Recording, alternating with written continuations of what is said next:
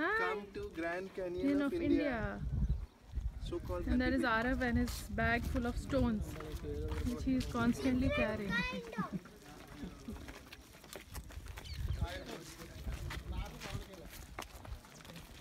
I have a lot of different kind of rocks because in science there is there we are learning about rocks. Hmm.